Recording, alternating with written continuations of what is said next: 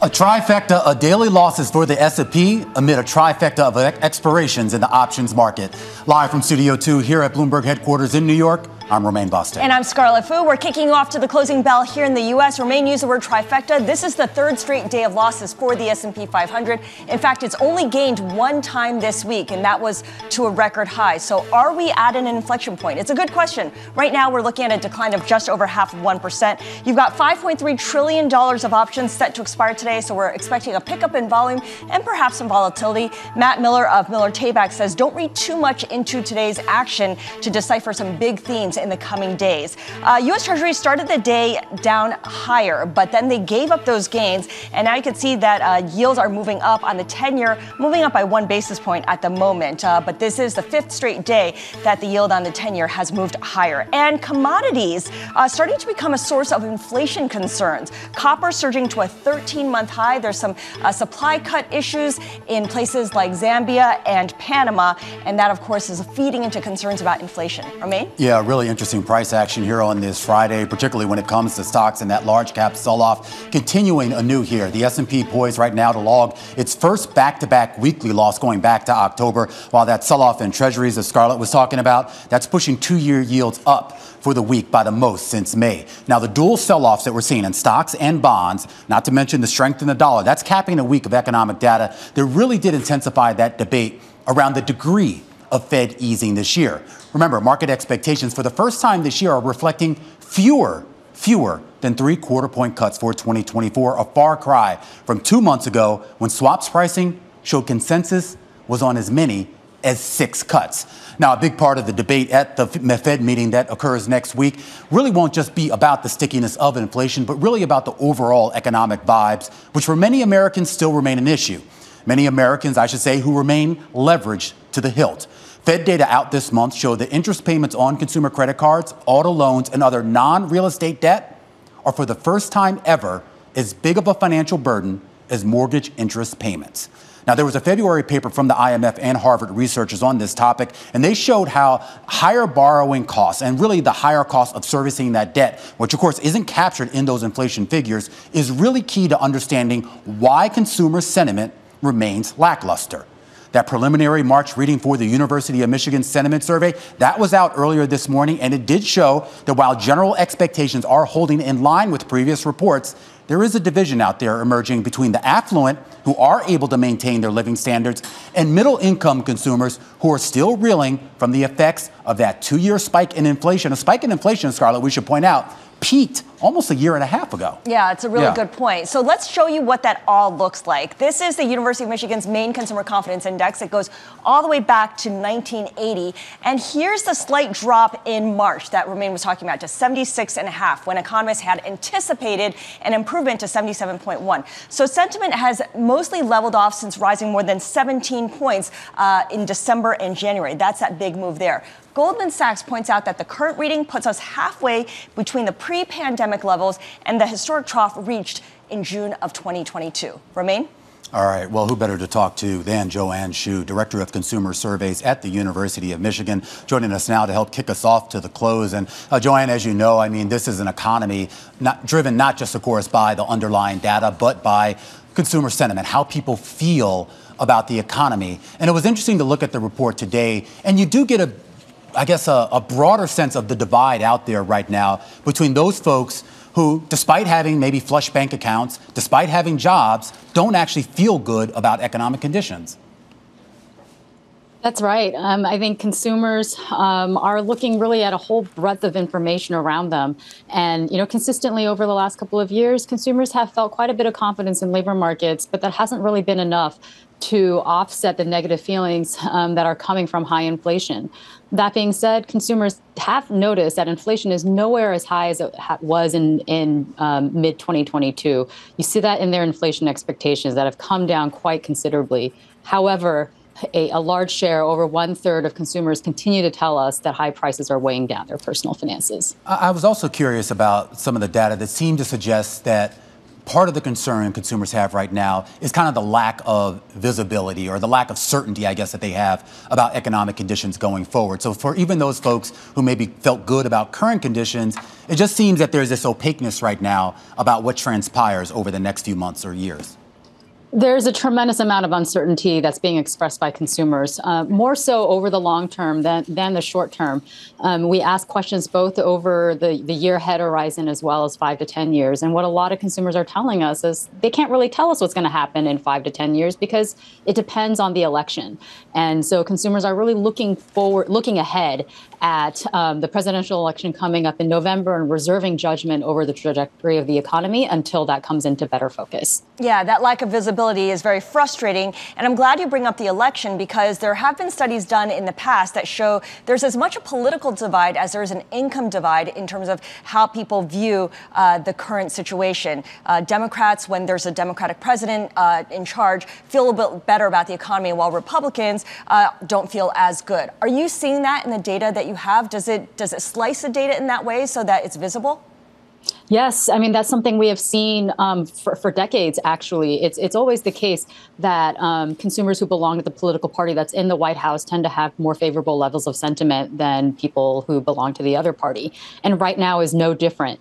Um, Democrats see um, see the economy both currently and their expectations much more favorably than independents, who see it more favorably than Republicans. That being said, you know, you just showed us the uh, the, the dramatic increase in sentiment that we saw uh, between November and January, and that um, and those are trends that we saw across all three political groups. So it didn't matter what party you belonged to or if you were an independent. Everyone saw that um, saw that improvement between November and January, and all three groups have been relatively stable between January, February, and this first reading in March.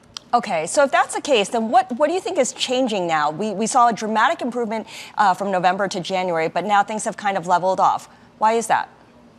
The dramatic improvement looking back at that was largely because consumers were starting to finally um, feel confident that inflation was truly going to slow down, that it wasn't going to come back. And that was something that was internalized um, at the end of 2023. Um, and then once that was fully internalized by January, uh, consumers have been looking around them and don't see any signs um, of any sort of dramatic changes or clear changes, either positive or negative, in the economy. So essentially, we're, we're flat because consumers don't see don't see any information that leads them to to believe otherwise. And again, um, they sense the uncertainty ahead of them, and so they're reserving judgment at this time. And we only have about a minute left, but I am curious, Joanne, if you could kind of close the loop for us here. When we talk about these sentiment indicators and how people feel, uh, how much of a direct correlation can you find, or can you track at least, uh, with future purchases. The idea that if people are feeling a little bit less, they're maybe not going to travel or not necessarily buy those big ticket items. Is that correlation still strong? So historically, the correlation has been uh, been remarkably strong, um, with consumer sentiment being a leading indicator for how people are planning out their purchases in the future. Now, that relationship did shift quite a bit in 2022 and 2023, um, with consumers feeling quite dismal about the economy and having very low levels of sentiment, but still spending quite robustly. And the reason for that is because of the strong labor market and consumer recognition that labor markets are strong. And indeed, right now, consumers still feel quite confident that their jobs are secure. They feel quite confident that they're going to see income gains ahead. However, they don't. Most of them don't do not expect these income gains to outstrip inflation. Mm-hmm. Um, so I think consumers still feel comfortable spending at this time um, because they feel secure in their current situations. Um, but that could certainly change going forward. All right, uh, Joanne, always great to talk to you. Joanne Hsu, she's Director of Consumer Surveys at the University of Michigan, former Fed economist as well, as we kick you off to the close here on this Friday afternoon with a closer look at that divide in perceptions of economic conditions and the wedge creating that divide. High consumer credit card balances and even higher debt servicing costs. A discussion ahead with one of the top rated analysts covering the sector. Plus, we take a look at Zillow. It is our stock of the hour. It and other real estate platforms are plunging following a court settlement that could result in lower fees for agents. The details coming up. And Supermicro Computer Deckers Intuit among the companies joining the S&P 500 starting on Monday when the index rebalances after the close today. A closer look at those companies going in and those companies coming out. All that and more coming up right here on the program. This is the close on Bloomberg.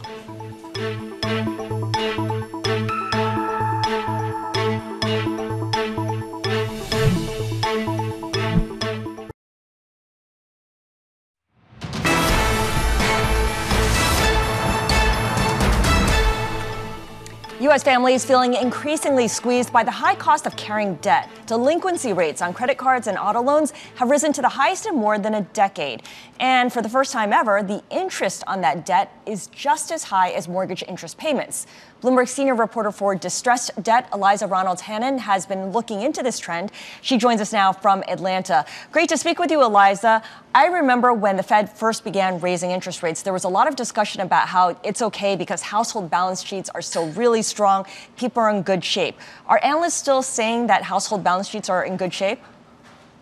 Well, not as much. And what is particularly noteworthy is that the dif- difference between um, those who have more wealth to begin with and the lower quartiles of earners is pretty distinct. Um, the some of the data we show in the story is that not only are default rates higher for lower earners, but they're rising more quickly. So you know some of the offsets of the inflation inflationary pressures have come from wealth generated by increasing home values or stock market gains, and those are not available to the average middle class or lower earner. So they're getting to experience only the inflation and none of the boon of the wealth creation. This has kind of been actually a big part of the story coming out of, uh, really going into the uh, pandemic. Of course, when we had that wage growth, which finally kicked in after years, only to get eaten away by inflation. Now you're talking about the higher debt services costs here. Is this going to become an election year issue?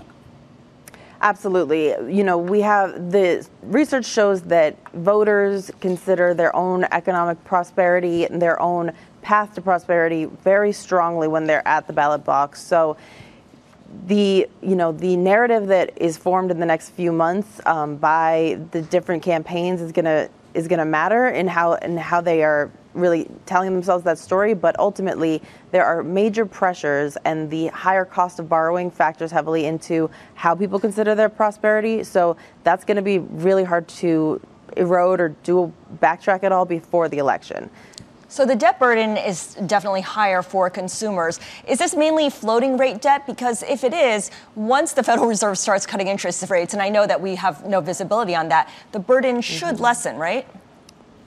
It should and it could, but we do make the point that sometimes depending on your balance and your situation, you know, the fees involved in refinancing can be prohibitive. Uh, it's it's quite expensive. Um, the pure administrative work involved can also be prohibitive, and so not only that, but the you know, it's a little bit of a snowball effect. When your credit card balance grows and you're not able to pay down more than the minimum per month, it quickly gets pretty out of hand, and that becomes an overhang that is takes years to get get out from under. Why, why, don't you think there was a little bit more discussion about this when we saw those balances going up? Everyone kept saying, look, on a historical basis, not that bad, even though it was at a record. And they kept pointing to these ratios. Did we not look at those debt servicing ratios at the time, or did we misinterpret them?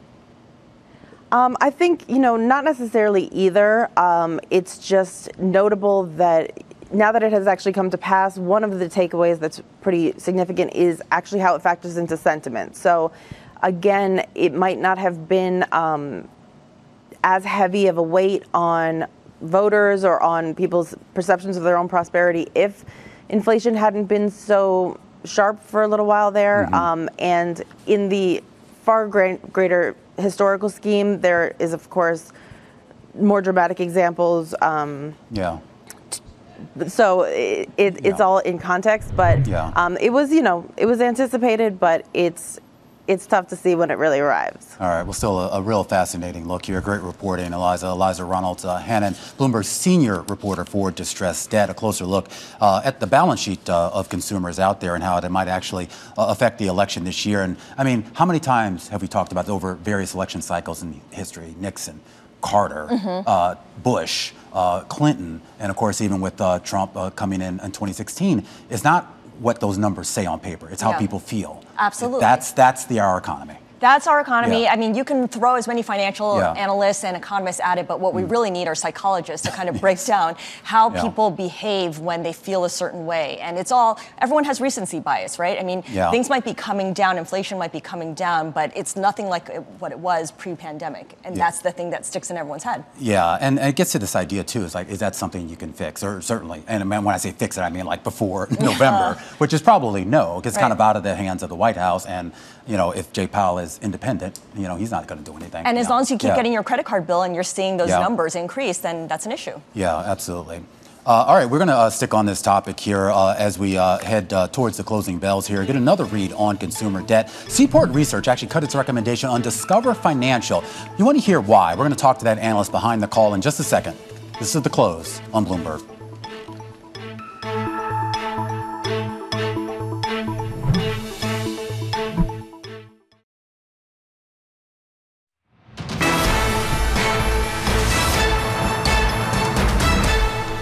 Let's get a view from the sell side with our top calls, the big movers on the back of analyst recommendations. And we're going to start here with Dollar General.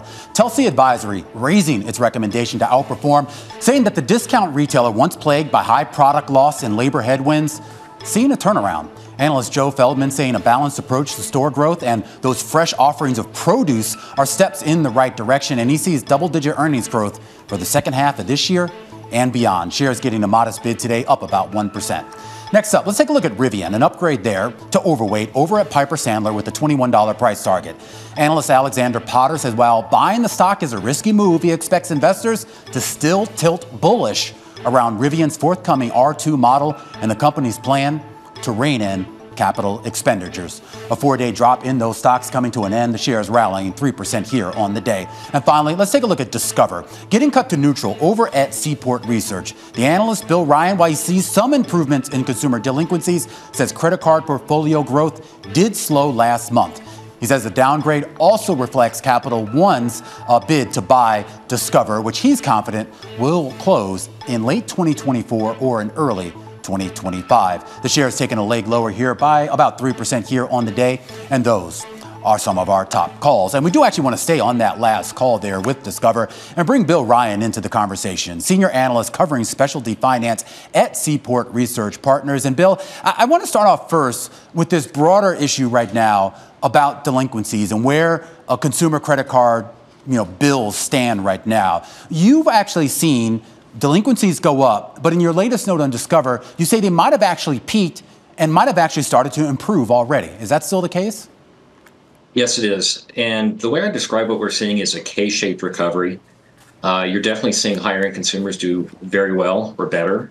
And then if you look at uh, you know subprime consumers or non-prime consumers, low-end prime consumers, they're definitely struggling with uh, inflation over the last several years. And in relation to, I hate to call it exactly improvement, but we refer to it as delinquency formation rates. Mm-hmm. And what is happening is is that you had a big surge in delinquencies over the past, you know, call it 18 months, but that rate of increase has started to slow.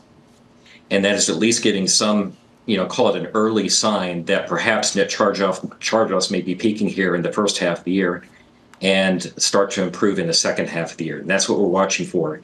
And you know, Discover and most of the credit card issuers put out their credit data today for the month of February, and pretty much on a universal basis, yeah. you did see delinquency formation rates actually start to slow. When you look at the other side uh, of the coin here, which is portfolio growth, the credit card portfolio growth at Discover, what has been behind that slowdown? Is that something that I guess is being driven internally, or is that more market forces and consumers pulling back? It is a combination of pretty much all the above. Mm-hmm. And you know, you can start off with all the all the credit card issuers have really kind of tightened to some degree, and so that is starting to be reflected in the growth rates. They implemented it last year, and you're seeing it uh, kind of spill over into the growth rates uh, this year. So the second uh, key point uh, that I would make is consumers have dialed back on their spending. And most of the issuers uh, have, have basically stated that you're seeing flat spending growth on a year-over-year basis at this point.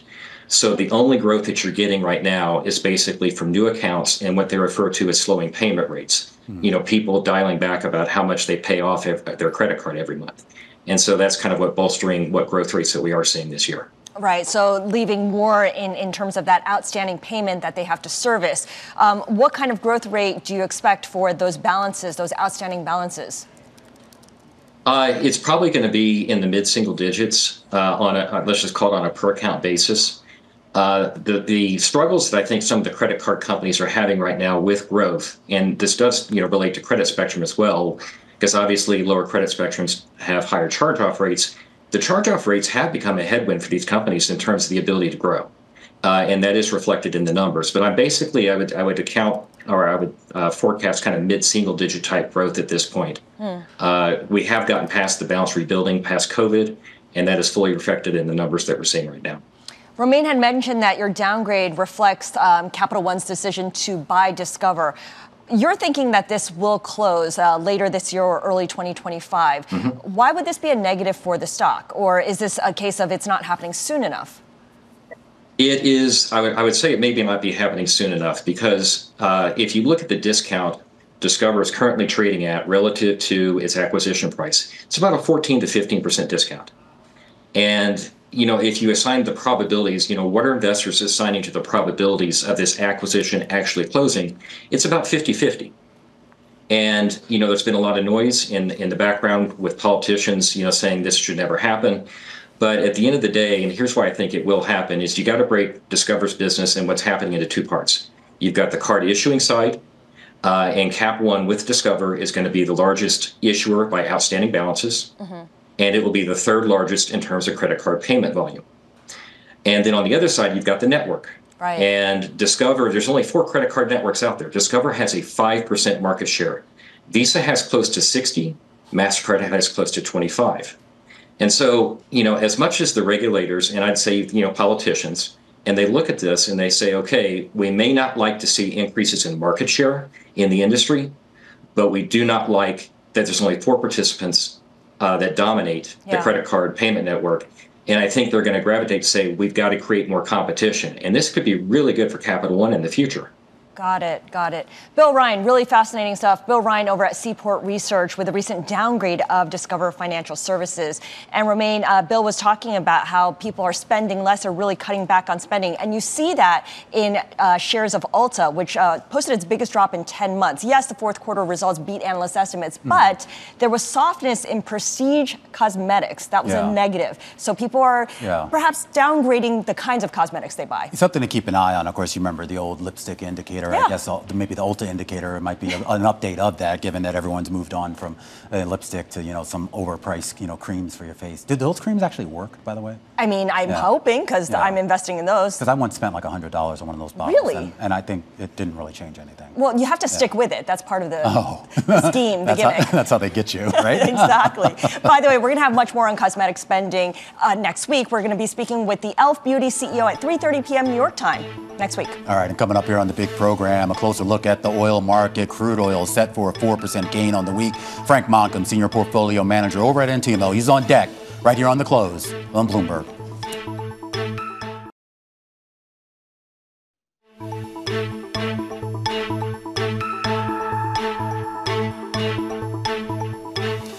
Just about 3:30 p.m. here in New York. This is the countdown to the close. I'm Romaine Bostick.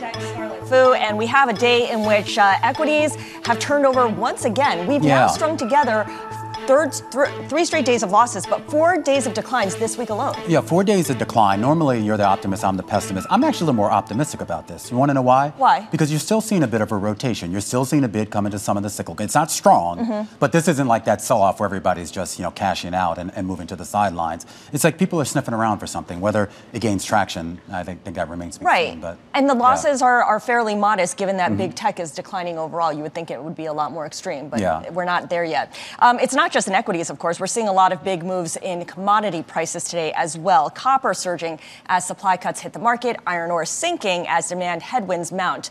The world's most important mined commodities are diverging while parts of the energy complex, like crude oil, are climbing. So joining us now to discuss what this all means is Frank Mon- Monkam. He is Senior Portfolio Manager at Antimo. Hey, Frank, nice to see you again. Yeah, it's a pleasure program today. So we've got low volatility and record yep. highs in risky assets like stocks yep. and Bitcoin, yep. but also record highs in gold. So peaking together all at once is kind of unusual.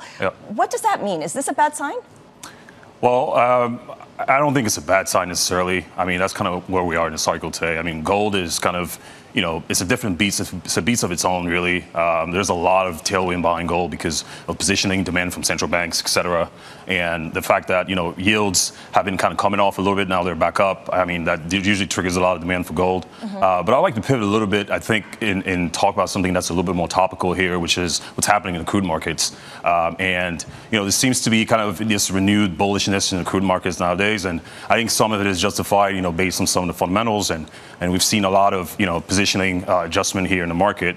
Uh, but I, I do want to highlight one thing, which is the fact that one still needs to remain cognizant of the fact that the, the Fed is still continuing to hike here.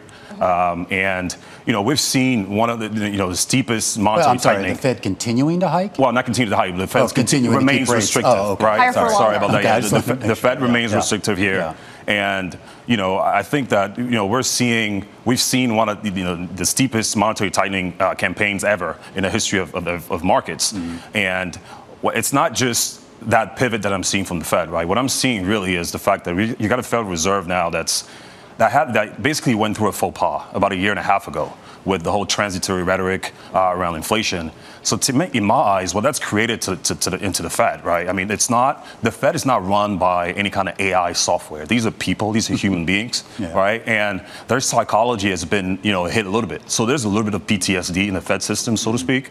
So I think that they're making sure that they want to make sure that they, they attack inflation really holistically. So mm-hmm. people talk about CPI, PCE, and try to dissect all of these components underneath it. Mm-hmm. I think it's a great exercise to do. Mm-hmm. However, I think the Fed really is not really in the business of doing that, given that inflation is really sticky, right?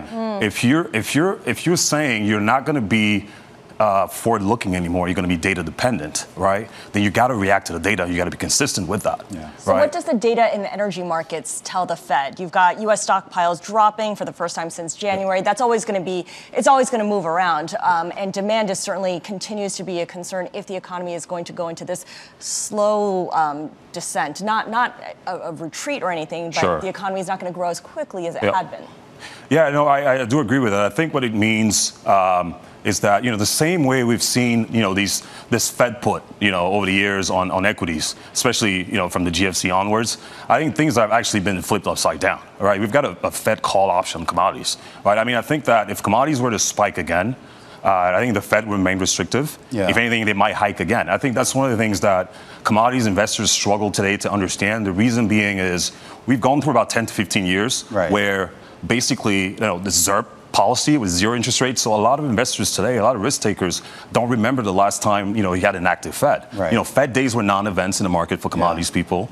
Uh, if you had a Fed model, you probably haven't run it in a while. It's sitting somewhere in the shelf. Now you got to bring it back to life. Right. Trying to spruce it up, dust it off, and trying to make sure that it's it's it's up to speed. Right. Right. And a lot of people have kind of forgotten about that. We've got a Fed that's really active in the marketplace. Mm-hmm. You've got interest rates at five and a quarter uh, uh, um, uh, percent here, and the Fed is really not backing down. I mean, we've got PPI, CPI this week, which is Yeah. pretty hot. And I think it'll be asinine to think that the Fed is just going to look through this next Yeah. week, right? I think they'll talk about Th- this. Well, this has to be a topic of conversation. I mean, we talk about the rise that we've seen in oil this week. I know we're only at like 81 bucks uh, or something, so we're nowhere near those $100 fever dreams we had. Yep. But then you look at the jump that we've seen in gasoline prices uh, and some of the other distilled products here. Yes. I mean, that has to be a topic of conversation on Tuesday and Wednesday. Absolutely. I think Yeah. that, you know, my base case is, you know, I mean, I think the dot plots is still showing about three cuts for for uh, Yeah. For the rest of the year.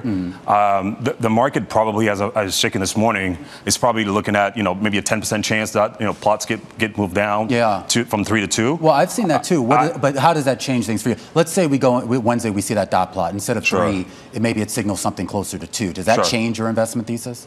I, I think it does. I think Yeah. that, that's just going to be a reminder that the Fed is really vigilant about this, Uh-huh. and they're not just going to let commodities rip. This notion of, you know, because traditional monetary policy usually looks at core inflation, right? Okay. Because food and energy tends to be really volatile, so you don't want to manage policy around, Mm-hmm. you know, something that's super volatile. But this time around is very different, right? The Fed wants to bring inflation down to two percent. Doesn't matter if it's core Mm-hmm. headline. They're going full on and trying to bring down inflation to target, right? So if they were to move uh, the plots down to two, I think this is going to be a stark reminder to the marketplace that they are really onto this. Yeah. And any spike in in in in in energy prices, any spike in commodities markets just in general would trigger them to come back and, and, and, and perhaps if, hype if again. that dot doesn't move, it stays at three or even maybe potentially even a little higher than that. Does that matter? if it stays at three, Yeah.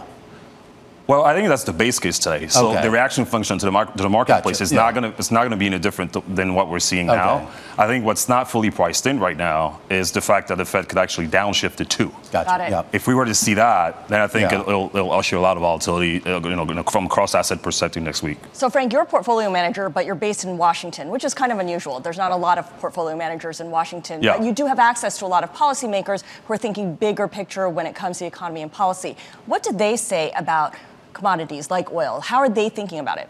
Well, the way that they're thinking about it is they're very sort of sensitive to what's happening geo- geopolitically, especially the folks in Washington. As you can see, you've seen Washington being really active in trying to make sure that you know they they're working on the peace uh, that the Middle East gets some kind of peace deal, you know, with Hamas. So they're seeing clearly seeing a correlation between what's happening in the Middle East and and you know the, price inflation picture in, in the United States. And uh, you know, at the end of the day, that's really the, the the right tail risk to commodities. It's really another geopolitical flare up that, that would basically reactivate the right tail of, of that distribution, and they're aware of that. And uh, that's definitely uh, front and center in, into discussions in Washington as it pertains to you know inflation. All right, Frank, uh, great discussion here. Frank Monkam there, he's senior portfolio manager over at Antimo. Closer look at the commodity space. We've seen a ton of price activity uh, in that space over the last few months. You started off talking about the moves in copper, gold, but I mean, if Alix were here, she would also point out that a lot of the volatility we've been seeing in oil and, and uh, energy. Yeah, absolutely. I look at the CRB indexes, and it's at a four and a half month high. This has happened kind of quietly. We don't talk enough about it, but um, when we talk about what the Fed's going to focus on when it comes to inflation, it feels like this is going to be a feeder into that idea that inflation is sticky. Yeah, and don't forget now you're looking at uh, prices at the pump now up about 30% to start the year here, so could become a big issue for consumers and maybe even for the president. We already know the housing market is a big issue as well, but today maybe there was a sign of a little bit of a relief. National, the National Association of Realtors did finally settle that big case that they've been up against now for the last couple of years. That's going to change how agents are paid, and it could change how Americans buy and sell their homes.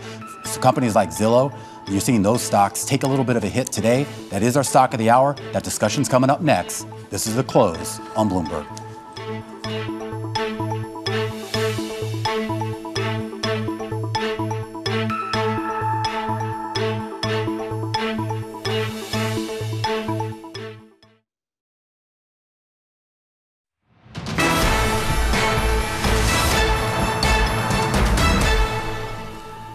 All right, it's time now for our stock of the hour. Taking a closer look at Zillow. The shares right now having their worst day going back to late 2021. This is after the National Association of Realtors here in the U.S. agreed to settle litigation over commission rules for its agents. Now, that could potentially result in lower fees going to these real estate companies. Abigail Doolittle joining us right now has been all over this story here. And Abigail, anyone who knows who's bought a home in the U.S., typically you pay somewhere in the neighborhood of about 5 to 6%. The seller pays that. And of course, that gets split up amongst the agents.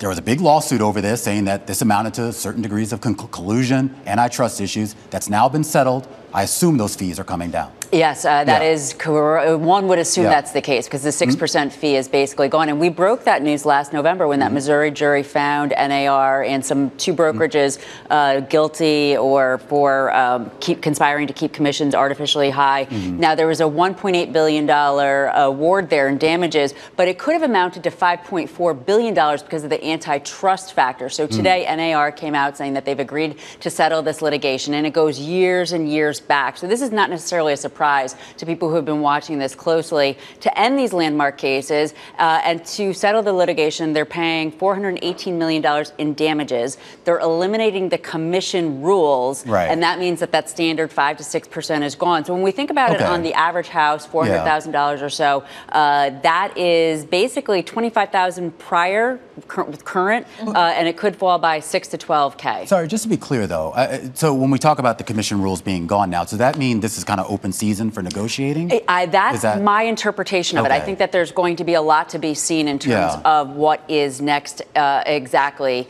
uh, and that's one of Gotcha. the reasons Okay. that some of these brokerages are down because Yeah. that six percent that they were just getting, they're no longer going to be getting. There's also uh, they agreed to put in new rules. Commissions are now prohibited from being shown on listings. Uh, they've also ended the requirement for brokers to subscribe to various multi multiple listing services, which we all know Oh, about it when yeah, you buy yeah. and sell. Yeah, that's, so so So that, that secrecy that is gone, it almost reminds me of when Trace was eliminated for the bond market. Yeah. And then all of a sudden, bond traders, I was not one of them, but I heard about it. you know, they could also, there was transparency uh, to the price. And also, buyers brokers have to uh, yeah. sign an agreement. So I think that there's going to be a lot ahead for us to see how this plays out. But to the, the biggest point is yes, it sounds like fees are coming in. It's like they are just making things available and people can go in there and look up their look, own information. Yes. So um, realtors like Zillow, obviously losers.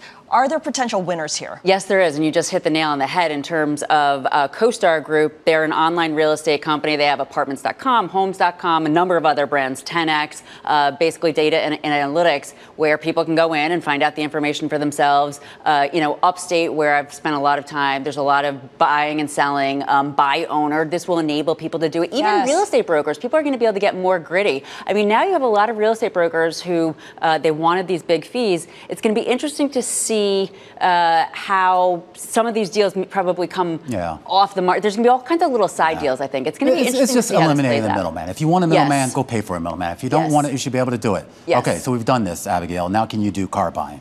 Uh, can I do car buying? Yeah, just get rid of the dealers for me. Uh, I, I, could try, I mean, you broke, but I mean, I mean, you, you broke, you broke, you broke Trace.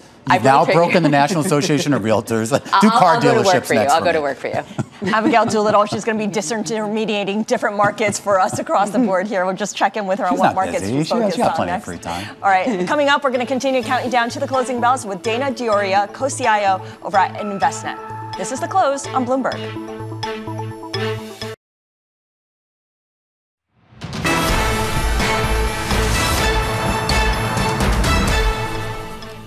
This is the countdown to the close. Romaine Bostick alongside Scarlet Fu with a doubt 10 minutes until we get to those bells. As we wrap up the week on a down note, Scarlet, we're looking at weekly losses yep. for most of the major indices here, though it could have been a lot worse, right? I mean, you're still seeing a little bit of life in some of the cyclical names. And as we've been talking about today, you're, you know, if you're trading commodities, you actually did pretty well this week as That's a good too. point. Yeah. And uh, let's keep in mind also, you have triple witching, so volume is up, and you may not be able yeah. to read too much into today's I, I thought we had dealt with those witches the last time, three months ago. They're back? The witches come back, oh, yeah. They don't go away. Um, most of big tech is falling. If you look at the Magnificent Seven. I tell that joke, by the way, every triple week. That's okay. No I, I like it. it. But okay. No, no, I like it. Yeah. Um, the group is down 1.2%. The exceptions here are NVIDIA and Tesla. And of course, there is some NVIDIA news that's coming up next week. So don't know if that's tied to that, but certainly anticipation ahead of that. And look at that. You mentioned how it could be worse. The Russell 2000 higher on the day.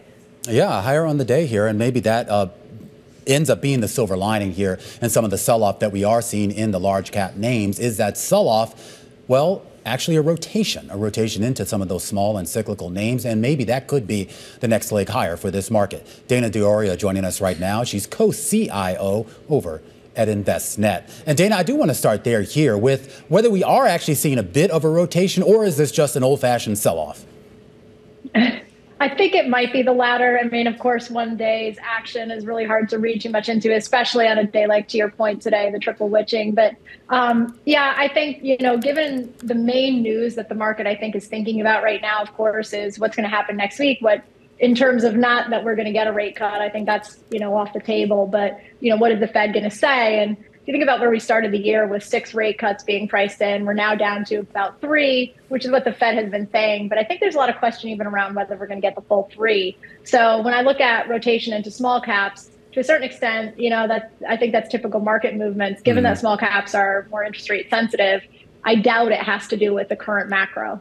Well, based on the current macro, based on Fed expectations, Dana, where are the investment opportunities for you and your folks over at Envestnet? Yeah, I don't think. I mean, look, I'm a proponent of you know having that diversification into the smaller region. I think you know I often talk about the fact that whether you like it or not, you're very heavily concentrated, obviously, in mega cap tech, even active managers, right? So besides just having an index uh, constituent there. I mean, even active managers, unless there's a lot of tracking error going on in that portfolio, you've got a lot of mega cap, large cap in your portfolio. So 100%, I think having that diversification, tilting into the small cap arena, particularly small value, is a good thing. Uh, you know, but just it might be a longer haul to to kind of get there for that for for returns there. Now, one thing to bear in mind when you're going into that sector, that area of the market, is that it has outperformed inflation over time. And as we all know, PPI ticking up, core inflation a little bit stickier. Um, you know, in the event that we are having another inflation wave getting kicked off, mm-hmm. small values another it's another reason to potentially tilt there a little bit. Okay, so as we continue to wait for a um, a rise in small cap value that can that's sustainable, we are still looking at an S&P 500 that's holding near record highs. The Fed has a dual mandate, right? Full employment and, of course, um, controlling inflation.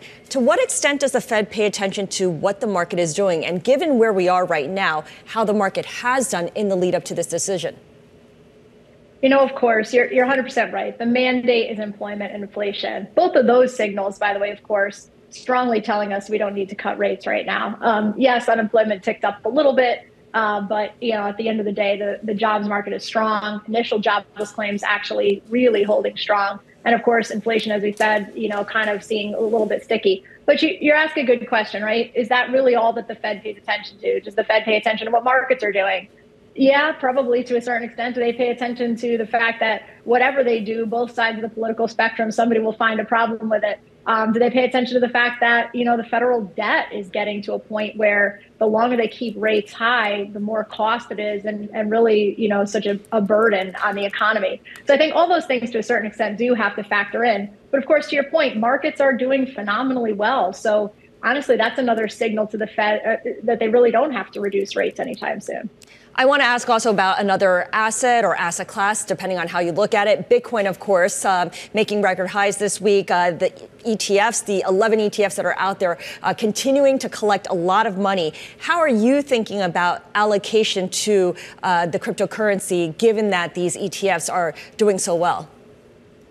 It's a great question. I think there's a lot in that too. So I think the fact that you have spot Bitcoin ETFs now is really a tremendous development for the retail advisor investor community, right? They now have a vehicle that's you know backed by the largest asset managers in the world you know kind of safe from the perspective of who's standing behind that return so i think you're going to see a lot of interest that maybe wasn't there before when that vehicle wasn't there getting in. I also think advisors and investors have to pay close attention now to what vehicle they're in and how much they're paying for this. At the end of the day, you're looking for spot Bitcoin. So if you're in a in a version of this that may be higher priced uh, and and there's really no reason for that, you got to be kind of looking at that. But I think an interesting to your point on allocation, an interesting kind of study came out. A couple of studies are out there now around what is a, an allocation to Bitcoin for the average person. And of course, some people it may be nothing, right? This is, after all, sort of to a, to a certain extent, still a very speculative bet. Yeah. Uh, but even even normal risk aversion, because of the high skew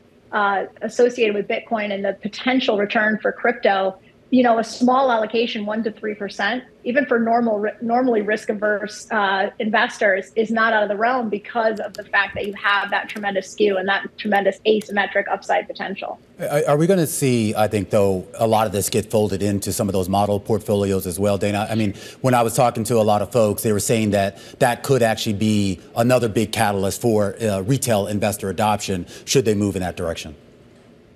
So I think that's another really interesting question. If you have asset managers willing to put out ETFs on spot Bitcoin, you know, in some ways you could say they're actually de-risking this for the average client because those are people who wanted to go into Bitcoin to begin with. Now they have a better vehicle, a better chassis to do it.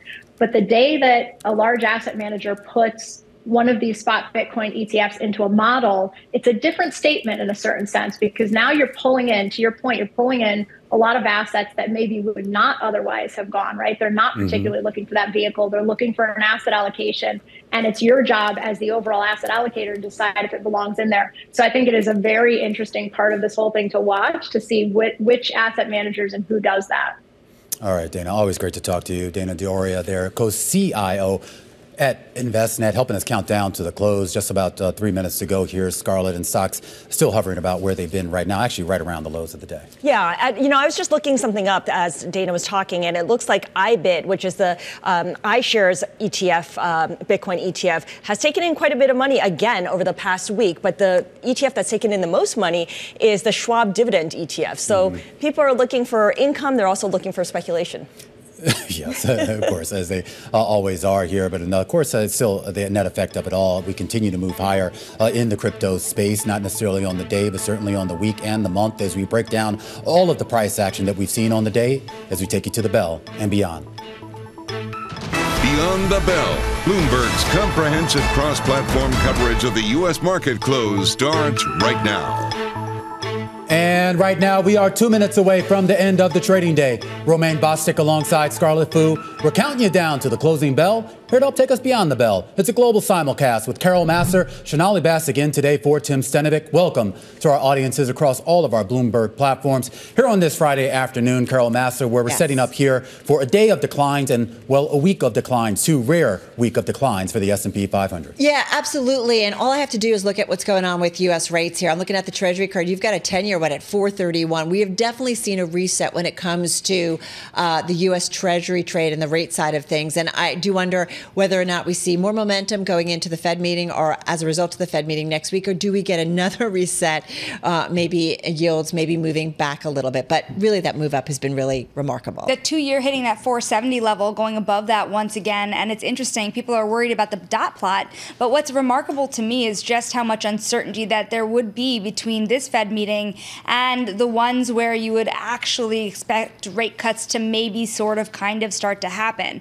Uh, several inflation prints really hitting the tape before then. Yeah, well, we know nothing's going to happen next week, but they will be releasing their uh, projections for not just inflation, but where rates will be headed, as well as GDP. And that's going to kind of set the tone and show us some of their thinking as they look to eventually start cutting rates. Yeah, and you're already seeing that reflected here in the swaps market. Everyone really expecting that dot to maybe drift down just a little bit from three rate cuts for the year to maybe potentially two. Whether that is the message coming out of Powell and company, we're going to have to wait until next Wednesday of course, for that press release and that press conference. Meanwhile, here on this Friday afternoon, as we wrap up the week, right across the screen for most of the major indices, a Dow Jones Industrial Average looking like it's going to close out the day uh, down more than 180 points, roughly about a half a percent here on the day. The S&P 500 holding right around 5,001, down about 33 points or 7 tenths of a percent. The Nasdaq down 155 points or a full percent here on the day. Maybe a bright spot, if you will. It's only about eight points. It's only about four tenths of a percent, but the Russell 2000 is going to close out the day in the green. All right, interesting to see. Uh, S&P 500, let me go there, guys. Not quite an even split, but close to it. 230 names, Scarlet, to the upside in the Friday trade. 273 to the downside. And volume, of course, in the S&P 500 definitely picked up because it is triple witching, up 60% uh, over the past 20 days. Let's take a look at the sector breakdown here. A lot of red on that screen because you've got infotech, communication services, and consumer discretionary all down at least 1%. That basically encompasses all of big tech. Your green uh, highlights there are energy, utilities, and materials. So the commodities complex showing a little bit of resilience here, and utilities also gaining one tenth of 1%. All right, a lot of red there on that screen. Let's go to some of the individual gainers, if I may, in the Friday trade. Uh, and let me start with uh, CoStar Group. Ticker is CSGP. This is number one gainer in the S&P 500. $38 billion market cap company, provider of commercial and residential real estate information, analytics, online marketplace. So all in when it comes to commercial real estate. Well, real estate platforms, just a little bit of a backdrop here. Generally, we saw them under pressure today. The National Association of Realtors agreeing to settle litigation over commission rules for agents in a deal that shifts the way that agents communicate about commissions, potentially resulting in lower fees. So you can understand the pressure. However, Wall Street weighing in, CoStar Group, um, they, uh, Stephens analyst John Campbell calling it the biggest beneficiary of this, um, and some other analysts uh, kind of calling it a potential beneficiary of the changes. So we did see some of them weighing in and kind of separating them out. Zillow, I don't have it up here, but I think it was one of the names that actually was under a lot of pressure as a result of this. It was down about 13%, but CoStar Group gaining more than 8% in today's session. Advanced Micro, again, among the top gainers in the NASDAQ 100 here. Bring up the trade there on that one, and this one gaining about 2% in today's session. Didn't see any fundamental news, but definitely a standout in the trade. And then one more for you. Ticker is THR, Thermon uh, Group, uh, machinery equipment company, heating solutions company, announcing a $50 million share buyback plan. Mm. about a $1 billion market cap company, but this was an outperformer, up about 5.7% in today's session. So not a name we talk about a lot, but nonetheless an outperformer here today. And I'm going to talk about the underperformers here today, the decliners, and I'm going to give you a sampling of the indexes here. You have Adobe slumping on its outlook here it raises questions about demand. This is one of your worst performers in the S&P 500, and it is also down the most since September of 2020. 2022. Of course, a lot of eyes on software there. But I also want to bring you the worst performer, or among the worst performers here in this Philadelphia Semiconductor Index. Speaking of technology more broadly, because you did have NXP Semiconductors being one of the worst decliners in the index there, uh, still falling about 2.5%, really helping drag down the index. Remember, the reason I bring it up is this Netherlands based company really fell on the heels of China asking electric vehicle firms to buy local chips. So you did see a number of firms drop on the heels of that news at first at Bloomberg News. Now, I also want to point out Immuneering here. This is a biotechnology firm that did face a wave of analyst downgrades today and cuts to its price target. This was a stock down more than 30% on the day and one of your biggest losers here in that Russell 2000, as we were talking about a little earlier, ending up on the day. All right, uh, let's take a look at the yield space because it, has been five straight days of a sell off on that Treasury curve here, pushing yields higher on the day and on the week. In fact, we're up uh, about four basis points here on the two year yield and only about uh, one to two on the 10 year yield. But on a weekly basis, we're looking at a gain of about 25 to 26 basis points on that two year yield. That's the biggest weekly jump we've seen uh, on uh, a yield basis going back to October of last year. That 10 year yield also adding uh, as well here.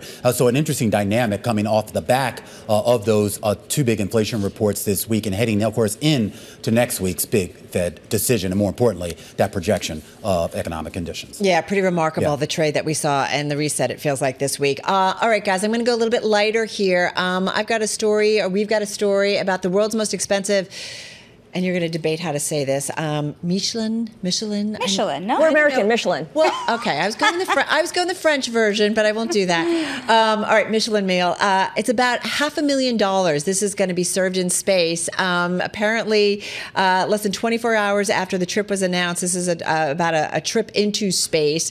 Uh, many people have already asked where they can sign up. Space VIP, I think uh, Shanali is the company. It's a luxury space travel company, and they've hired a, a Danish chef from a, a restaurant uh, for the six hour high tech space balloon trip, which is set to de- debut next year. But apparently, you can eat, and it's going to be expensive. Yeah, and, and here's a little about what you can expect on this journey here. The meal, remember, is about a half billion dollars. Um, but I guess if you could make it to space anyways, yeah. you might be able to afford that. But the chef wants the dishes to be innovative, like the journey itself. So, well, I would um, hope so, Shanali. I, I, mean, if, if you just went up there and he just sure, serves you like some crudo and like you know uh, some crackers here, I think you'd all be disappointed. I, I'm confused. Explain this to me. So you're going up into space, right? Uh, how long do you have to stay there to, to, to have this meal? I don't know. Because I feel like aren't most of the consumer space flights are literally like 15 minutes or something, right? no, the, actually the balloon trips I think are a little bit longer. Oh, oh, oh, so okay. you'd be up there for Do tell. Hours. I've never been on a balloon trip to space, Carol Massar. Well, you live a much more charming life. I don't think it's started yeah. yet, so oh. I don't think any of us. I have another question. Do you remember when we go to the Smithsonian, you can get astronaut food or astronaut ice cream? It's freeze dried. Yeah, and it was just going to talk about that. Are these going to be freeze dried food items? No. They got to cook. Can they cook in space? Have you not seen The Bear? You know how it plays out. Come on. in space? Yeah. I mean, let's let's go a little that. bit. Everyone's gonna be yelling corner right. and back. I will say the menu here. has not been finalized, so they're still working okay. out. Okay, TBD. Will it, will, it, will it, be vegan and gluten free? TBD. but if you can get Charlie Bird on JetBlue, then Bird, you know man. I'll take that. we can hang out with that. You know, there's another story that caught my eye, which is um, some big name investors, Bill Ackman, Cathie Wood, among them. This they are worrisome. fighting battles, yeah, on Facebook because there's people impersonating them, trying to lure regular Facebook users to invest with them. There's one ad uh, that promised annual returns of 125%, another a 25% return in a week, and told victims to hold these three stocks and you'll be a millionaire that didn't work out, obviously. Yeah, I mean, I think what's more interesting is that they can't really, you know, fight this or get it all taken down. As you know, they look, tried. Uh, they tried. Well, it's the internet, you know, and I think if there's any equalizer out there for you know some of these uh, high net worth individuals, it's like, look, there's only so much you can do. If a bad actor is a bad actor, you know, lawsuits aren't going to matter. It's kind of scary, you know. Yeah. At, at, one point, remember how much scammers had really taken away from so many people uh, without using a Bill Ackman, and you know, the Bill Ackman's PR person had told the Journal here that it's like a game of whack-a-mole. That's mm-hmm. how much these things are coming up across social platforms. It'll be interesting to see how some of these social media platforms also ultimately respond. Listen, Facebook came out and said what that last year they removed 1.1 billion pieces of spam content in the second quarter alone. So they're working on it, but it is like whack-a-mole, right? As soon they're as something's taken it? down. How? How, Carol? taking them down, finding them, taking Oh. them down.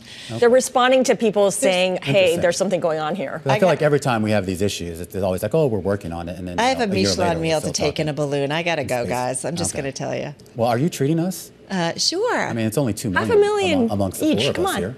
Love you guys enough that I would do that for you. Absolutely.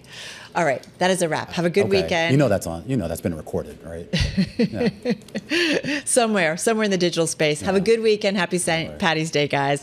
Across platform, radio, TV, YouTube, Bloomberg Originals. We will see you again, same time, same place on Monday. All right, our coverage still continues right here on Bloomberg Television. The close, it ain't over yet here. A closer look at some of the big factors that move the market here on this Friday afternoon. Stick with us. This is Bloomberg.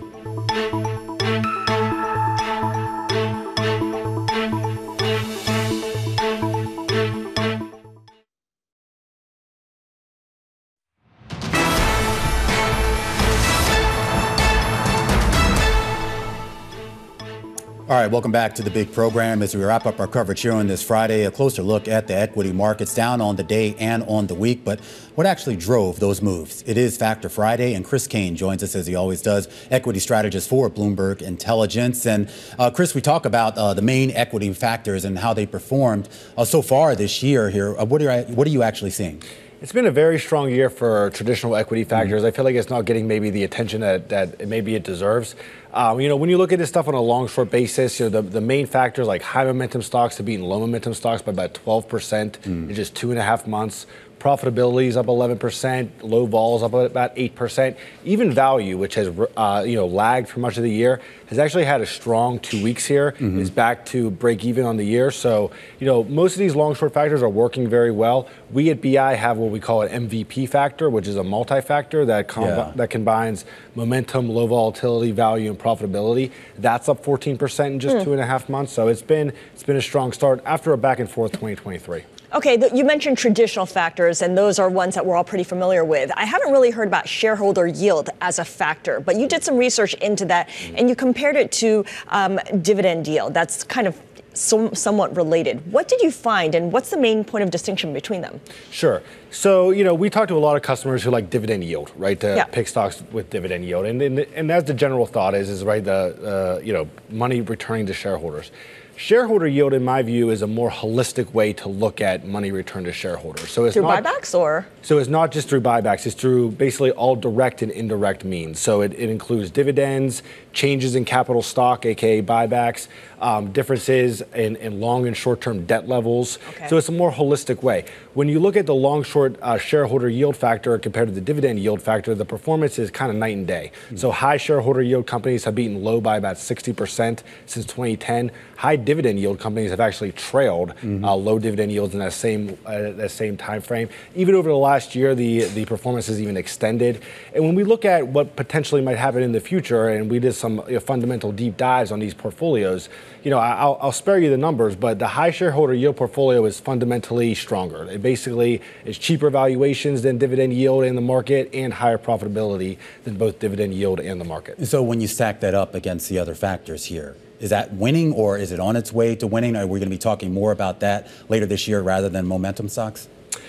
I, I, mean, I think so. I Yeah. mean, it, it, it's up so far this year. Um, you know, I, I think it's well positioned. You know, but the one thing when we have a kind of a non-traditional factor like this is the one thing quants always say is like, Yeah. what other factors does it load on? So to me, dividend yield and shareholder yield are broadly value factors, right? But when you look at the cross-factor loading, something really interesting happens.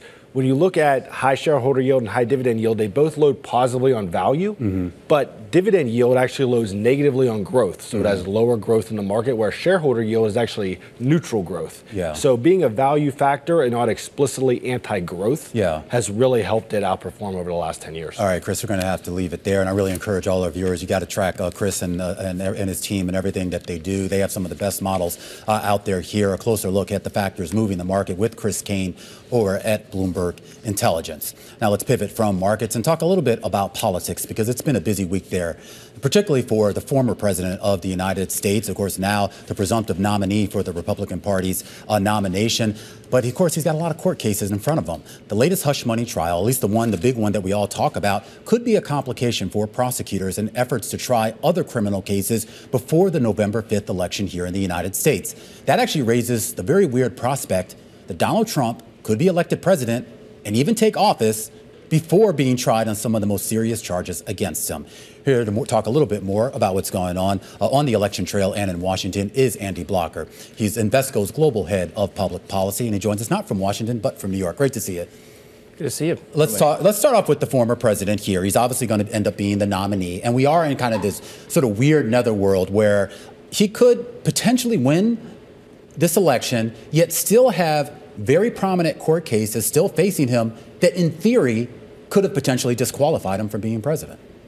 Well, that's true, Romaine. And look, I mean, we are in a very weird situation here, um, but I think a lot of people in the Democratic Party want him to stand trial before, mm-hmm. but I'm not sure that's what they should want. Mm-hmm. I think this because I think a lot of people who aren't Democrats think that it's uh, it's a political prosecution, all of them, mm-hmm. and so they should really want to go to the ballot, ballot box head to head without any of the trials and go from there. So head to head on the issues. On the issues. And not not a galvanized right that, that, that looks at their a candidate as being under attack. Is that That's correct. Idea? So but what issues there are out there? Because whenever I hear the pundits talk about the issues, they're saying it's not really the economy, it's not the traditional things we all talk about. It is sort of these culture war issues, and more importantly, the iconery around these two candidates. That's right. And so normally it's Maslow's hierarchy yeah. of needs physical yeah. safety, am I safe, crime, immigration versus you know the economy. Look, I think if those things are kind of put to the side, it really comes down to one, Biden's age, mm-hmm. and I think he made a step in the State of the Union. We'll see if that lasts. Yeah. Um, and then with Trump, I think it's a number of issues. I think number one, it's the Dobbs decision mm-hmm. and how he navigates that. Yeah. And I think the the Trump, the Biden administration and the Biden political team is going to try to remind people all the things he said with respect to democracy, mm-hmm. remind about January 6th, and then it's really the Donald. I mean, how disciplined will he be, right? And what is he going to say? Yeah. Yeah. Okay. So this is going to be a really, really long campaign season because I can't remember the last time, if ever, you had the two candidates already basically announced um, at this stage of the year. So when you think about how to position for either outcome, Americans are kind of like, I don't even want to think about this until about October. But you've been talking to a lot of clients overseas, and they're really keyed in on this. Why are they so much more curious about what's going to happen than Americans? Well, I think, yeah, I was just in London and Dublin, and I think, and if you look continental Europe, it's the same. It really impacts them from an international policy perspective. Um, whether it's Donald Trump or Joe Biden. Jo- Joe Biden is really about measured uh, policy and multilateral action, whereas Donald Trump's volatile volatility, and it's going to be bilateral action. Mm-hmm. And specific to Europe, it's going to be about Ukraine, Ukraine funding. We've heard it reported that Donald Trump has said he's not going to give a dime to Ukraine, and that's that's really on their border. So it's really important to them. So that's why I think they're so hyper focused on it. How much of the Ukraine stuff can be taken care of before the election, just in Congress? So look, I think they can do there's been this package that's been out there for some time. The Senate's passed it. The House, the big question in the House is whether the Speaker will put it on the floor because he could potentially have his speakership at risk. Mm. Uh, we've had the most forward-leaning statements from him recently where he said, look, I'm thinking about putting it on the floor. Uh, we'll see what happens to his speakership, but I think it will get to the floor, and I think it's not going to be 60 billion for Ukraine. Uh-huh. It'll probably be about 40 billion, mm. but I think that gets to the end of the year, and depending on who's president, that'll determine whether there's continued funding. I want to get your thoughts on another bill working its way through Congress, and that's this TikTok ban. It's already made it through the House. What's the prospect of it actually getting through the Senate, even out of committee? That's a tough one. I mean, yeah. look, you can see the overwhelming uh, vote in the House. Yeah. That put a lot of pressure, but you see a lot of comments saying, "Hey, let's let's do the normal process." When they say normal process, yeah. they mean we're going to give it the slow death. But because it's seen as anti-China, uh-huh. I wouldn't bet against it having a chance. So yeah. I think right now they're saying, wait a second, let's see what happens. Yeah. And um, but I think, and also you have to look at what the Chinese said. The Chinese said, we're, we're not selling this. If if, yeah. if, if we don't have it, no one gets it. No one gets it. Yeah. Uh, the lobbyists are busy at work then in Washington. Andy, thank you so much for joining us. Andy Block of Blocker of Invesco. Really appreciate it. So we talked about TikTok. We're going to continue on that uh, vein because we're going to discuss what it could mean for the world of advertising with Mark Douglas, the CEO of Mountain. If TikTok goes away, does Meta definitely benefit? How about Snap? This is the close on Bloomberg.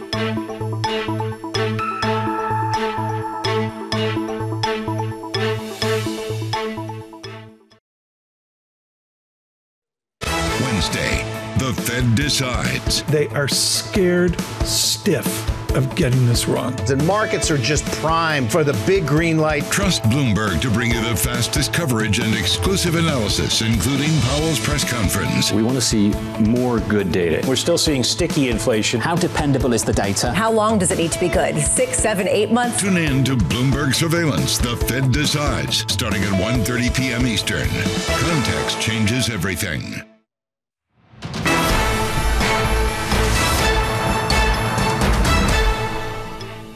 The House of Representatives passed a bill this week that would ban the video app TikTok over concerns of Chinese data mining. So while it faces an uncertain future in the Senate, investors have already started lining up their bids. Here now to discuss what this might mean for the world of advertising is Mark Douglas, president and CEO of the advertising software company Mountain. Uh, great to speak with you, uh, Mark. And I guess the, the, the best way I want to start first is to get some context here about just how big TikTok is. It's a Chinese held company, so we don't have a lot of transparency into this. Uh, but it, what is its digital ad share in the United States? I mean, it's nowhere close Well- to Meta, but is it getting, no, I think ground? I, I, the numbers are not disclosed. Um, if you look at like Amazon, Amazon is 30 billion going on 40. So I don't think TikTok is that large. Mhm. It's definitely in the billions. I wouldn't be surprised if it's over 10 billion annually. Okay, got it. So what we've understood is that um, certainly it's nowhere close to Meta, but it has it's it's very sticky when it comes to speaking to this audience, this young audience, this coveted audience as well. Um, TikTok users would be looking for an alternative immediately, if not already. Do we just presume that they'd go to Instagram or YouTube? Well, in terms of the users, I'm not so sure. I mean, you can never predict consumer behavior. For advertisers, I think not. I think most see advertise performance advertisers, the kind that advertise on Mountain, on Google, on Meta, and, and TikTok, Amazon. They're kind of like stock market investors. If like a stock's doing bad, sometimes they're like, well, let's just sit on cash. And so I think if somehow TikTok went away, I don't think that money automatically goes to to to Meta and Instagram. I think actually that a lot of those advertisers are just going to regroup. They're going to rethink where they're spending those dollars and hold on to them for a while. I, I am curious too. There's a geographic component to this as well, Mark. I mean, with all the discussion about whether China would actually relinquish TikTok and whether it ends up in U.S. hands, there was still this broader discussion here about the idea that advertisers still want U.S. eyeballs. So the idea is that if those U.S. eyeballs gravitate to whatever you know the, the next platform ends up being, is that where the advertisers are going to go? Is that the concentration? They they will if the platform has all the features they need. So you have to remember platforms like Google and Meta, they've had decades to perfect reaching consumers and putting, you know, the right ad in front of the right consumer.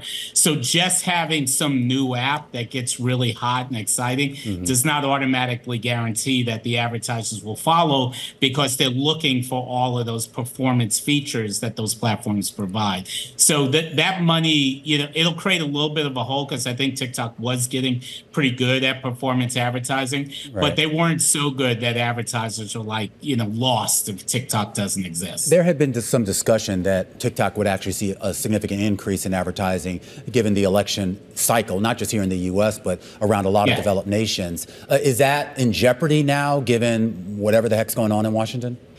Well, that's kind of a different story. Like the the uh, those kind of dollars just go out very broadly. It's more like television. You know, it's like broadcast television. Um, so so yeah, those dollars will easily find another home. And honestly, those dollars would probably go to TV. They wouldn't go to another digital platform. Also, TikTok's typical user, I don't necessarily think is the exact voter that the Republican Party and Democrat Party are looking for. So I think they would have gotten some of that, but I I don't not sure they would have gotten Yeah. much as most people would think. You're saying they just want old people who still watch linear TV? Mark. Well, maybe, you know, forties. People Yeah. go. People actually get off the you know get off the couch and go vote. They want reliable voters, basically, right? Exactly.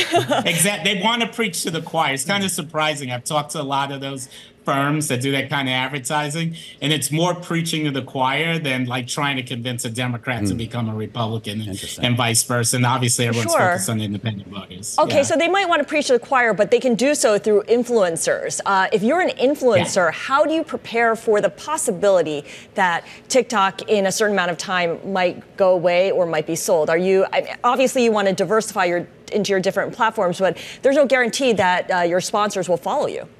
Yeah, I, I was going to say you sell that Ferrari you bought in Los Angeles, so get out of that lease because I don't think you fo- you all of a sudden people find you on another platform. I think um, there's a lot of data that shows like if you lose access to a platform you're popular with, Mhm. on let's say you were on YouTube and you were very popular there, and then you try to move that audience to Instagram, it doesn't actually happen that easily. Ah. So I think if I was an influencer, I'd be very worried. All right. Well, yeah. influencers are making plans then. Mark, really appreciate your joining us. Mark Douglas, uh, the president and CEO of Mountain. Coming up, we're going to get a read on the health of the global consumer from the CEO of Inter IKEA Group. This is the close on Bloomberg.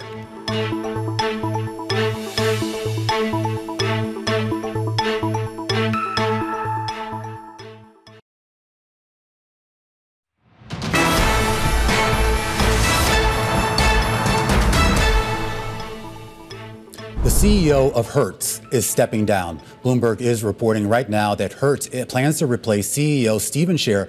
This is after that big bet on electric vehicles turned into, well, not quite as they had planned. Now, former Cruise COO Gil West will be stepping into his place here. Uh, Hertz shares are getting a modest bid here uh, in after hours, trading up about 1%. Once again, the headline Stephen Scherr, uh, the CEO over there at Hertz, the chairman as well, uh, stepping down as CEO. And we're told that Gil West will fill that CEO role. Detroit Bureau Chief David Welch joining us right now for a little bit more on this. And can we trace a line from this decision back to that decision a couple of years ago to make that big bet and that big purchase of electric vehicles? Yeah, so clear, clearly it is.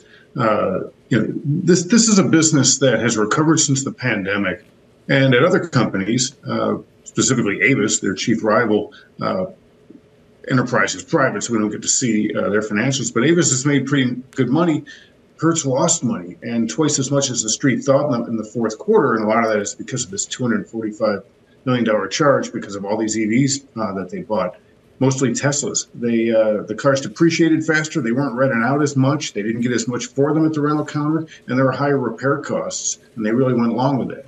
Uh, the the only odd thing about this is well, the uh, the people at Knighthead and Certares. They're the two private equity companies that bought Hertz and took it through bankruptcy. Yeah. This was kind of their strategy. They brought Stephen Scherr in to execute it. So there must have been disputes over how it was executed because Yeah.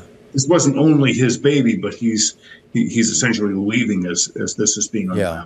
Well, that's the thing I was interested about here, uh, Scarlet, because I was looking at the timeline Mhm. and I'm like, they made that decision to buy these vehicles before Scherr was actually put into place. Yeah, and it's not a one man decision either, Yeah. right? I mean, this is something that the company got on board with. So, David, what's interesting here is that Stephen Scherr uh, is leaving or is being pushed out because of this, and he's being replaced by Gil West, who's a former CEO of G- GM's Cruise Robotaxi unit. Does that mean that Hertz is backing away from EVs, but maybe transitioning more towards focusing on self driving cars? How do we read into that? No, I think it's more you look deeper into Gil West's background. He was at, he was the COO for uh, Delta Airlines. So I think they're looking for somebody with consumer experience uh, in, in you know flights, scheduling, travel, that sort of thing. Hertz has done this before when Carl, uh, Carl Icahn was the controlling shareholder. They hired John Tague from United Airlines. Uh, it, it didn't work out that well. John was only there a couple of years, and Hertz never really got out of trouble under Icahn's leadership, no matter who he put in the chair. But you know, they're, they're looking for someone with that travel expertise who can do scheduling, fleet management, and that sort of thing, like you do with with planes. I, I think the challenge for somebody like Gil West, the same thing with Stephen Scherr and with a lot of past CEOs, is where you make or break companies in, in the rental business is do you Yeah. buy the right vehicles and you do, do you buy the right amount of them at the right time Yeah. and that's where the Hertz has got in trouble is mistiming the market with the vehicles they buy Sure. and getting burned in the used market later Okay, so it's managing inventory and also uh, optimizing the experience. David Welch, thank you so much, Bloomberg's Detroit bureau chief. We want to transition now and really focus on the state of global retail through the eyes of one major brand. I'm pleased to say welcoming. Uh, I'm pleased to welcome now Jon Abrahamsson Ring. He is CEO of Inter IKEA Group, which coordinates development, supplies, and strategic direction for IKEA's franchisees. We just talked about how managing inventory is just as important as managing the consumer customer experience. I'm curious from where you sit, what you're seeing uh, when it comes to consumers and what they're willing to spend on, because there is of course, a robust uh, consumer market in the United States, and demand has not dropped off, but people are becoming more selective. They're shying away from luxury goods and maybe downgrading a little bit here. What are you seeing? Well, mainly we see three things. We see that the importance of the home has uh, uh, continued to increase since the start of the pand- pandemic. Uh, so, improving your home, making your home more safe for your child, uh, organizing your home better, be able to work from home, that continues that trend. And it's actually globally. We see it, we have 63 markets, and we see it very similar across all our markets, uh, globally the same.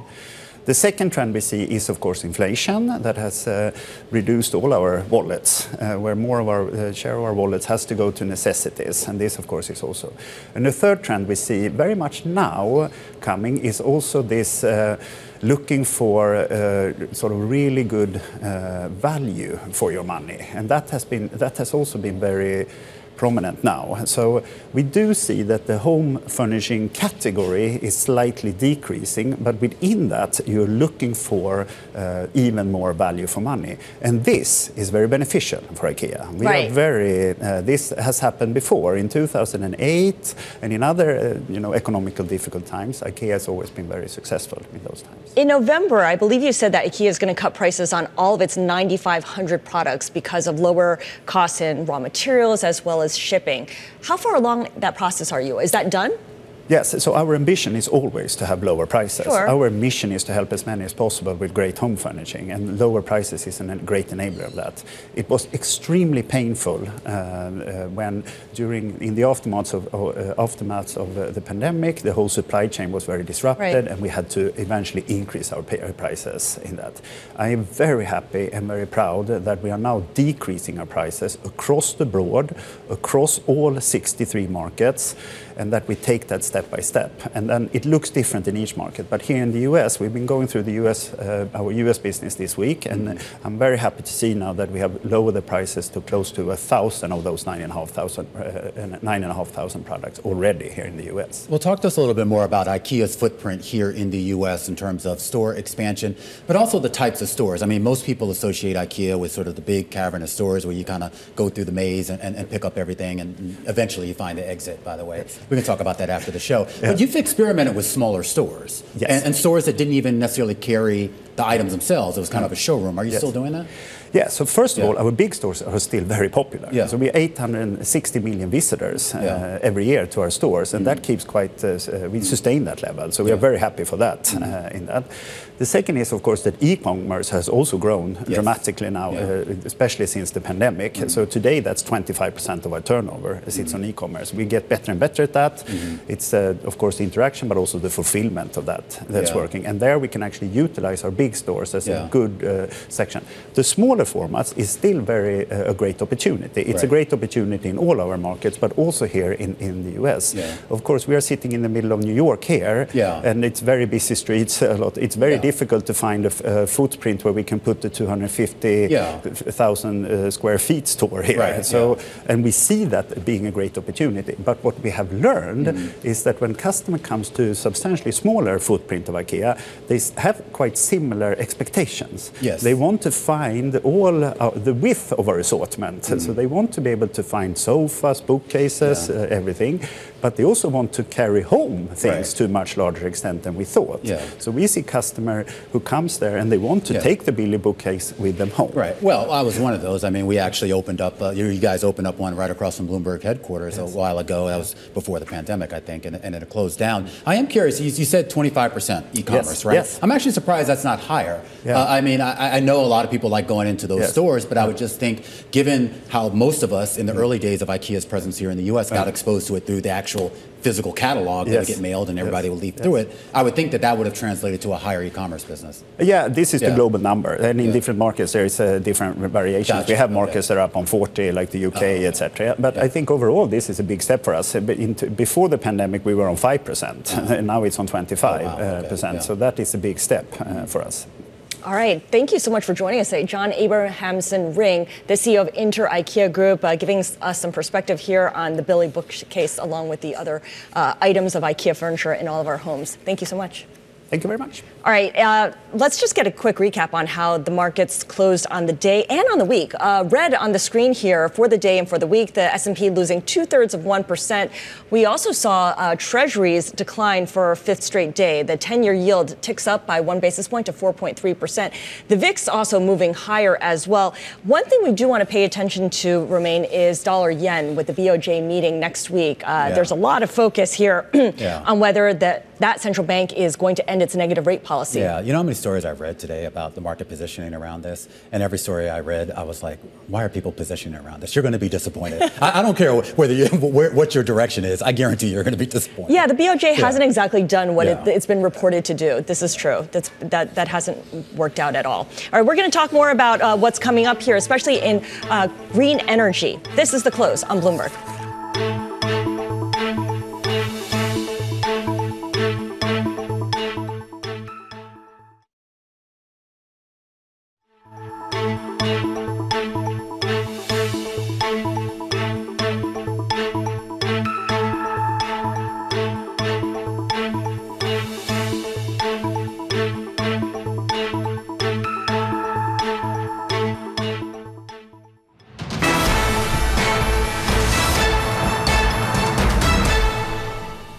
Right, it's time now for our next up segment. This is where we highlight the entrepreneurs, the founders, and of course the people funding them who are really moving the needle for our economy, markets, and technology. And today we're going to focus on shipping products because it's one of the main challenges that small businesses and e commerce merchants face in this day and age.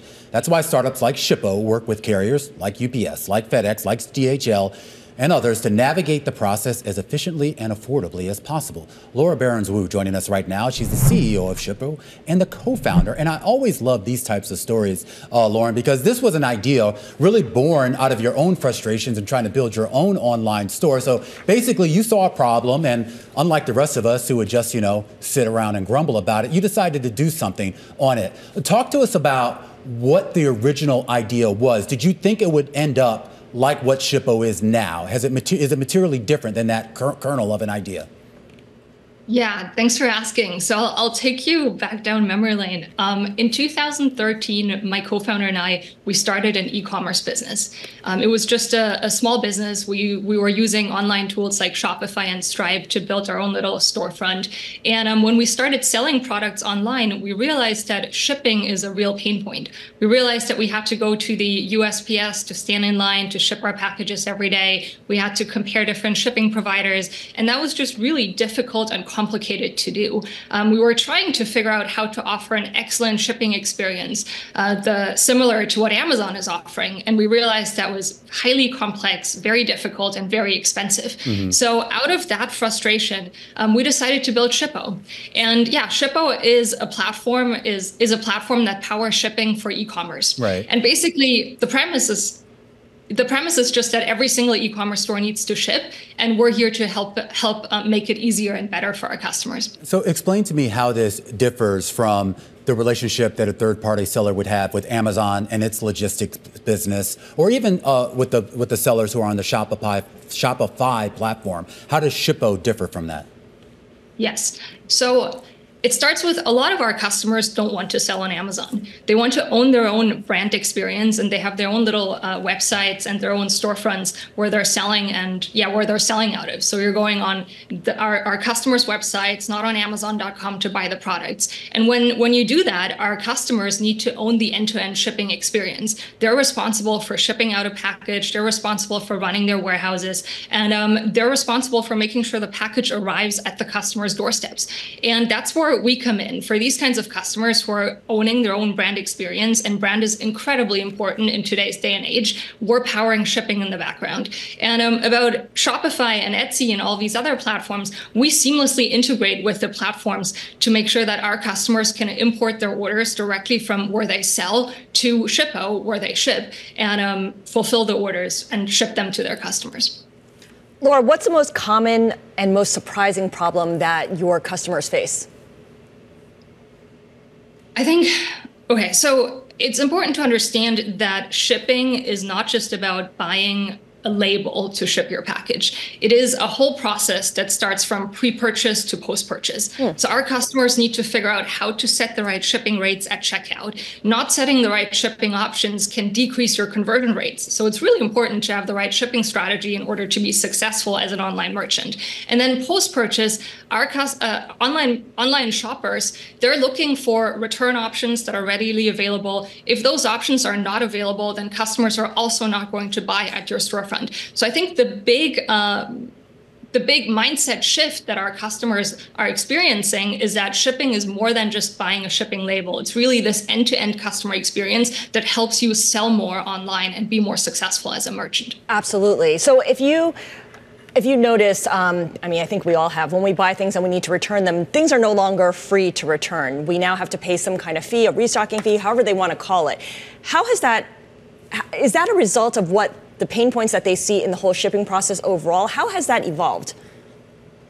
Yes. So what we're seeing is that well, free shipping has never been free. I should start with that. Someone needs to pay the shipping fees, be it the outbound shipping or the return shipping fee. Someone's paying for that. And many times, or most of the times, it is the online merchant who's paying those fees. I think in today's economic environment, we're seeing that our both our merchants as well as online shoppers are um, more sensitive around those shipping fees. So online shoppers, they're more, they're, they prefer free shipping, obviously, over uh, paying for shipments, but they're also willing to wait longer for a package to arrive. So the notion of everything needs to arrive next day or within two days has gone away. Mm. And I think that's a strategy that we've seen our customers like employ pretty uh, successfully and effectively, offering free shipping, but free shipping that takes significantly longer. I think as for returns, we're still recommending our customers to offer free returns. Um, it is like one of those things that are that online shoppers are looking out for when they yeah. buy online. Many times a, a, sale cannot be successfully made unless the return experience is what the online shopper is, experience, is expecting. Well said. Laura, really appreciate your joining us. Laura Behrens-Wu, the Shippo co-founder and CEO with the story of how her company came about. Thank you so much.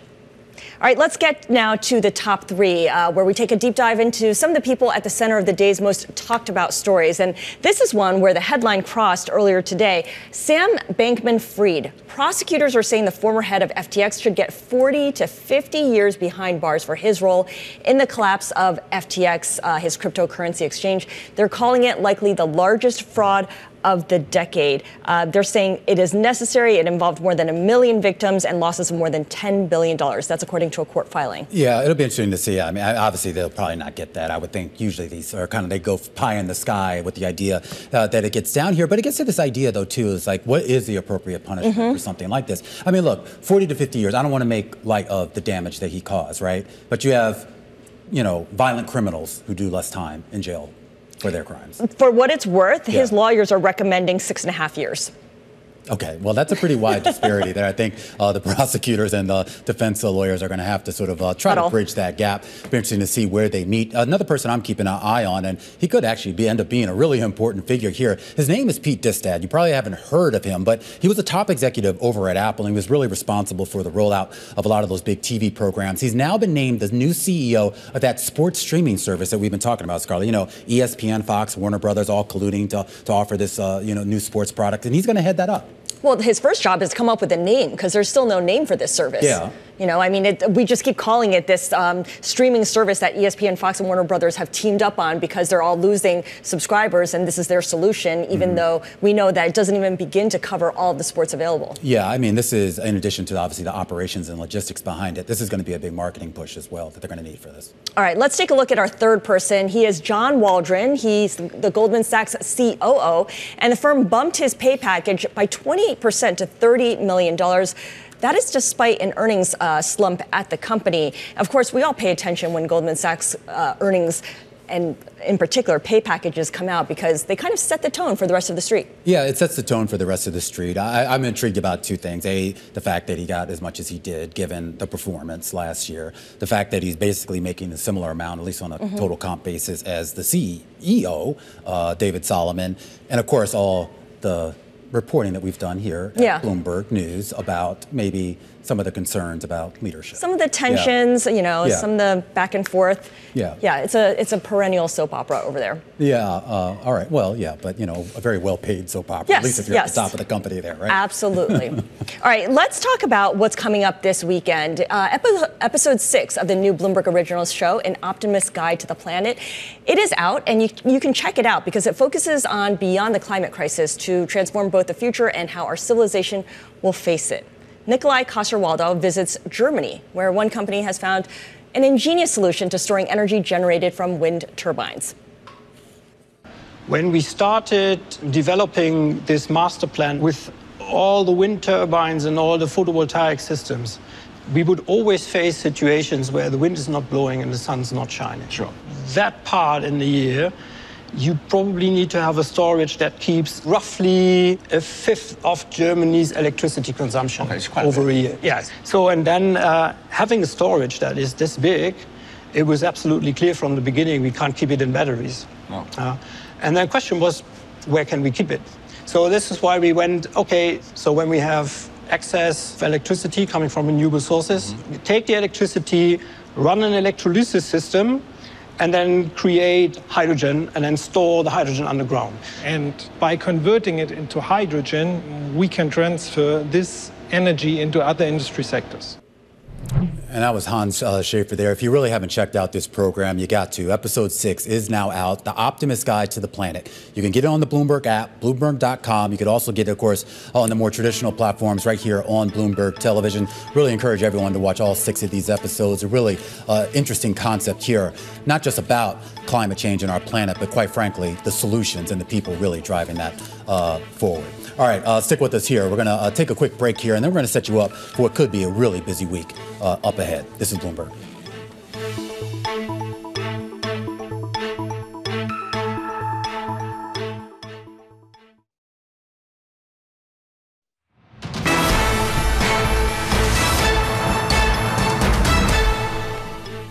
It's going to be a busy week next week, so let's get right to it. We start with Monday and a big day for NVIDIA. Yeah, NVIDIA is holding its Developers Day, uh, developers event, really. It's called NVIDIA GTC, and it runs Monday through Thursday. And Jensen Huang, the CEO, is really under pressure in some ways to deliver and uh, really tell everyone what else is next. And this is a stock that's performed incredibly well, obviously. Big point, too. We should point out these past developer days haven't moved the needle, but of course, AI wasn't necessarily yeah. the elephant in the room like it is. We get some big rate decisions next week. Let's start in Japan.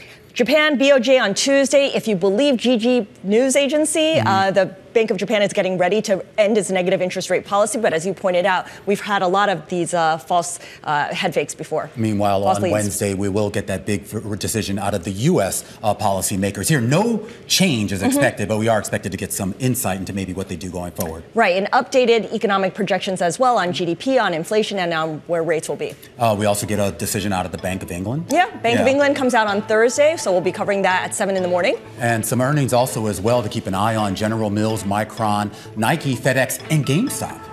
Does GameStop ever say anything though? That's the thing. No, it'll be like two sentences and a five-minute conference call. Go to the Reddit forum. But definitely tune in to us because if they do say anything, we certainly will have full coverage of it right here on the close. Tune in next week. This is Bloomberg.